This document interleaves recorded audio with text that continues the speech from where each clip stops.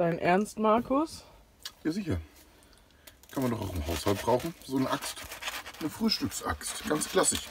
Und eine Frühstücksaxt ist im Haus, geht man gerne ein und aus. Moin! Ja, unsere Reisepläne haben sich in diesem Jahr ein bisschen verändert. Genauso wie im letzten Jahr. Wir wollten dieses Jahr an sich nach Spanien fahren, Freunde besuchen, eine kleine Rundreise machen. Haben wir gesagt, komm, aus bekannten Gründen lassen wir dieses Jahr einfach alles mehr bleiben und haben eine Entscheidung getroffen. Wir bleiben an der Hunte! Yay, wir sind jetzt schon eine Woche hier, arbeiten auch fleißig, haben richtig Glück gehabt mit dem Wetter, waren schon im See.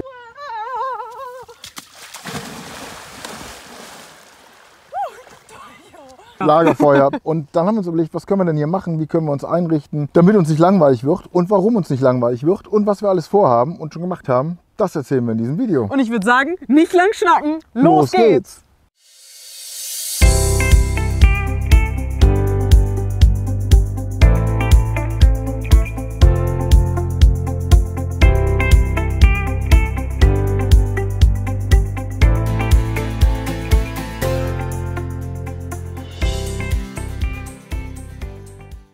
Ja, wir bleiben also erstmal an der Hunte, so ist zumindest unser Plan. Und dann haben wir, ja, bei uns weiß man ja nie. Ähm, auf jeden Fall haben wir dann überlegt, okay, was können wir denn hier noch Cooles machen? Und ja, eins meiner absoluten Favoriten, wir haben seit Sonntag Fahrräder. Yay.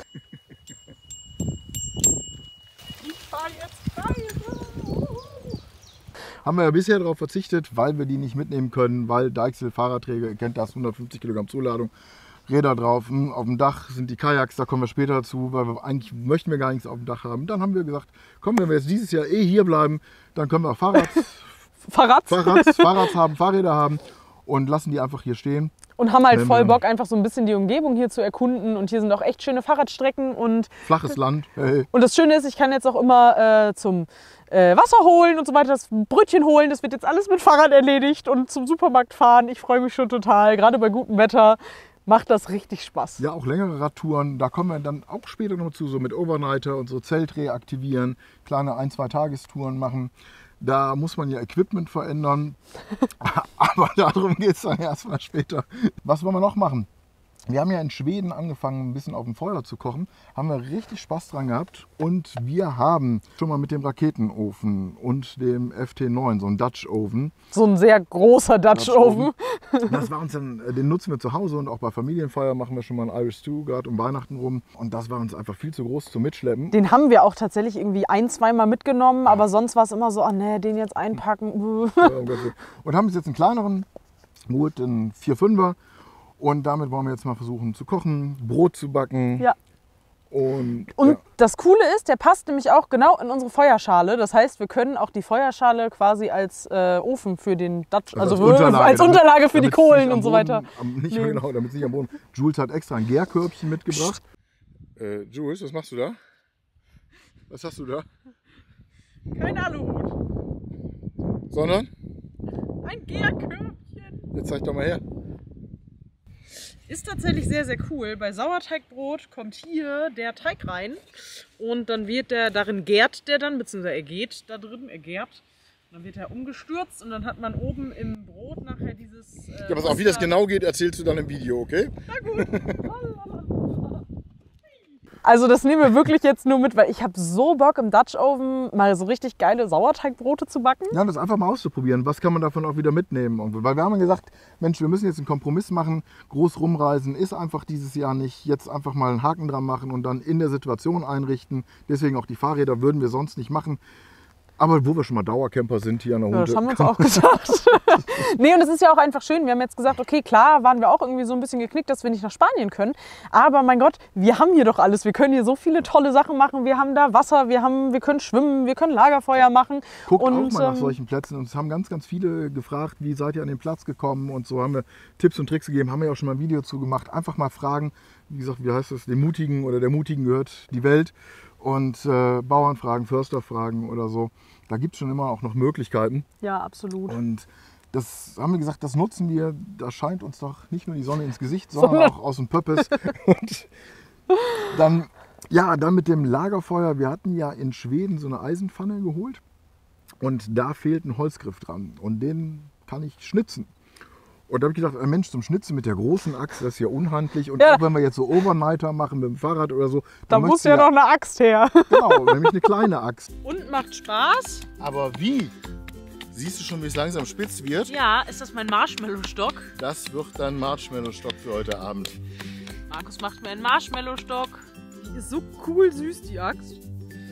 Axt und süß in einem Satz ist auch irgendwie falsch, oder? Ja, und diese Axt, die kommt dann natürlich zum Einsatz, sowohl zum Griffschnitzen, als auch wenn wir eine Overnight-Tour machen mit dem Fahrrad und Zelt beispielsweise. Da will man ja abends auch ein Lagerfeuerchen Ja. machen. Da überlegen wir uns übrigens noch die Anschaffung von so einem kleinen Eine Bushbox. Hobo, Bushbox, äh, Hobo-Ofen. Wenn ihr da Tipps habt für uns oder so, gerne in die Kommentare, welche, welche Größe. Größe, schreibt welche, gerne was zur Größe für äh, zwei Personen, was welche ihr empfehlen gut, welche könnt. zieht gut auf ein kleines Lagerfeuerchen oder so. Apropos Axt, ich nenne sie übrigens liebevoll Handtaschenaxt. Das ist ja eine Handtaschenaxt. Sagen wir doch lieber, es ist eine Handaxt, okay?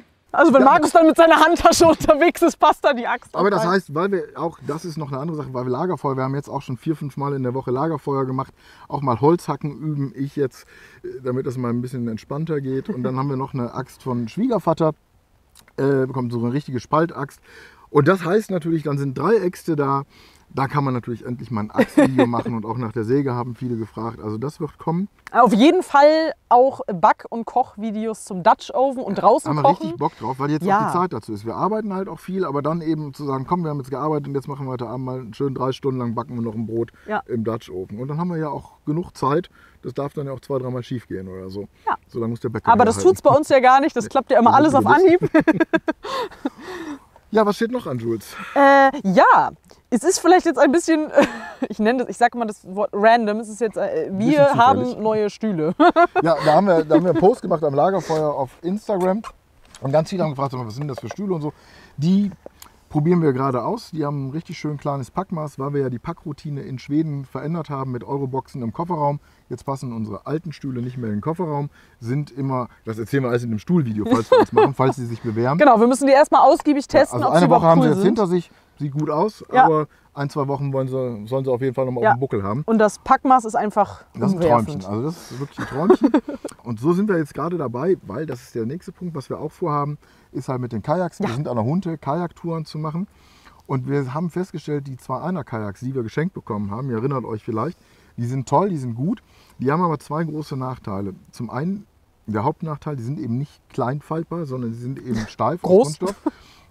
Und das GFK, und da haben wir gesagt, oh, immer aufs Dach und das ist aber Pöngelei. Wir möchten weder Fahrräder noch Kajaks auf dem Dach haben. Hier wäre jetzt nicht schlimm, einmal hin. Und dann haben wir gesagt, Mensch, so ein Zweier-Kajak wäre ganz cool. Da Weil wir eben auch Lust auf einen Zweier-Kajak haben, Haben. das haben wir auch Ja, festgestellt. genau. Und da ist der zweite Nachteil bei den Einer-Kajaks ist, du kommst an, du kannst Sachen mitnehmen, aber du kommst an diese Sachen auch nur genau dann ran, wenn du aussteigst. Also du musst aussteigen und dann kommst du dran. Und dann haben wir gesagt, ach, aber so einfach mal eine Knifte essen auf dem Fluss oder so, wäre doch auch ganz nett. Und leichteres Ein- und Aussteigen, muss man auch sagen. Jedenfalls haben wir gesagt, Hauptargument, die Kajaks sollen vom Dach weg, also muss ein Faltkajak her. Ja. Und da haben wir uns für ein aufblasbares zunächst mal entschieden. Ja. Und da die Frage an euch, wenn ihr da Tipps habt, welches Zweier-Kajak? Also wir haben so eins ausgesucht von Gummotex, glaube ich. Ja. Äh, Sea, Sea, Sea, Seawave, glaube Seawave. ich. Seawave, ja. So, weil dann gibt es die, die richtig, also dann gibt es noch eine Marke, habe ich vergessen, also da bist du aber direkt bei 2.500, Grabner. 3.000. Grabner, das ist uns auf jeden Fall zu teuer, ist nicht im Budget. Nee.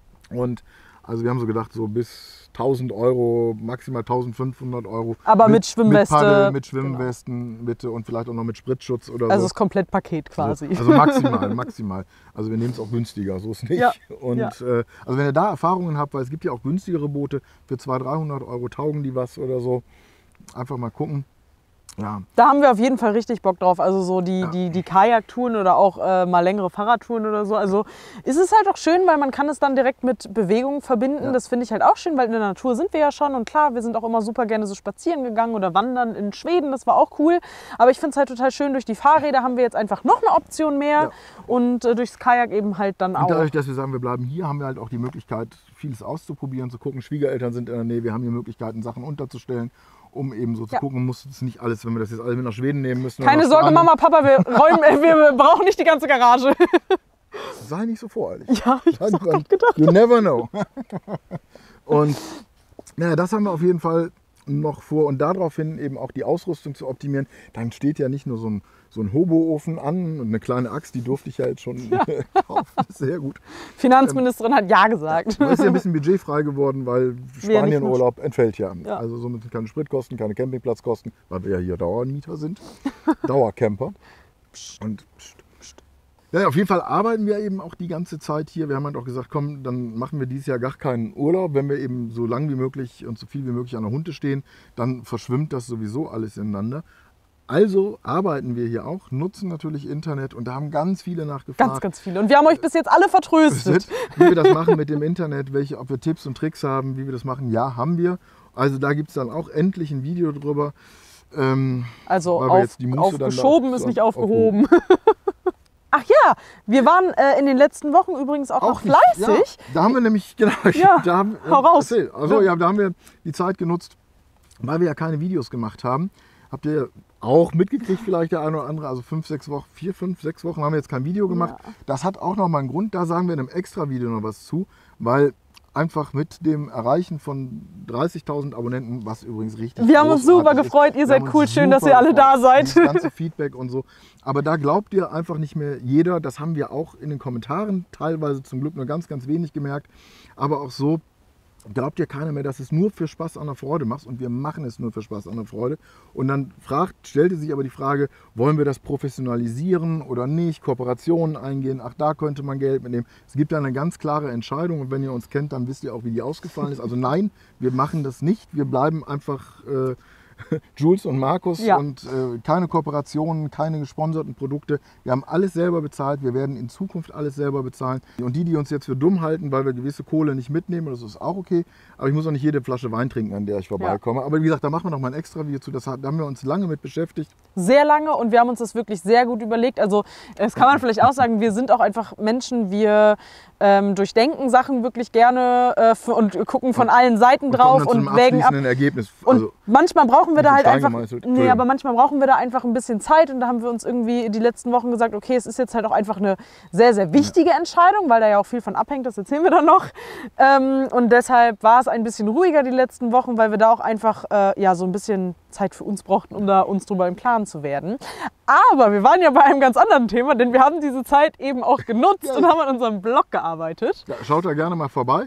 Da gibt es auch außer der Reihe mal Rezepte von Jules Ja. oder so. Oder wenn wir uns Gedanken durch den Kopf gehen, wo wir sagen, das passt jetzt nicht in ein Video oder so. Das macht uns Spaß, weil wir kommen ja eigentlich aus der Bloggerei, also Foodbloggerei. Und auch Ja. so schreiben wir gerne mal was. Und auch da gibt es noch ein paar Gedanken, so was sich in Zukunft, also rein hobbymäßig, wie gesagt, Ja. entwickeln könnte. Und da freuen wir uns auf jeden Fall, wenn ihr vorbeiguckt. Ihr könnt da auch super gerne kommentieren, ihr könnt uns da auch folgen. Und wie gesagt, Ähm, viele. Also geil. ich, ich backe und koche ja wirklich sehr viel und wir wollten halt eben nicht zu jedem Rezept ein Video machen, sondern nur zu ausgewählten Rezepten und deshalb gibt es dann so ein Weil dann paar. kommen die Equipment-Leute und sagen immer nur Kuchen Nur noch Kuchen backen. Ja, zum Beispiel haben wir ein super leckeres Rezept für ein schnelles, also gar nicht so schnell, ein einfaches Chia Butterbrot aus dem Omnia. Also guckt einfach mal vorbei Also und schnell nicht, ähm, weil der Teig ultra lange gehen muss. aber mega lecker und Aber einfach. einfach ist es ja. Und ähm, da freuen wir uns auf jeden Fall, wenn ihr mal vorbeiguckt. Lasst uns auch gerne Feedback da, wie ihr es findet, ob es euch gefällt, was, euch, was ihr euch vielleicht wünscht oder so. Wir freuen uns da immer über den Austausch. Und jetzt sind wir natürlich sehr neugierig. Was sind eure Gedanken zu, dieser, zu diesem Jahr im Sommer, Sommerurlaub? Und so geht's bei euch weg?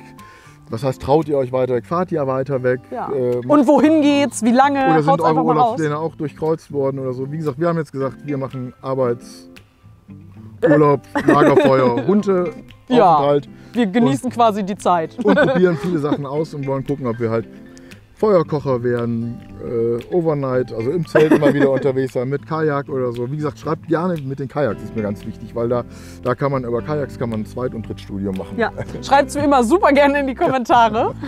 Wir freuen uns wie immer sehr auf den Austausch mit euch Schön, dass ihr bis hierher zugeschaut habt. Wenn es euch gefallen hat, lasst wie immer total gerne einen Daumen hoch da. oder ein Abo. Da würden wir uns wie immer sehr drüber freuen. Und ich würde sagen, bis, Bis zum zum nächsten Mal. Mal. Tschüss. Tschüss.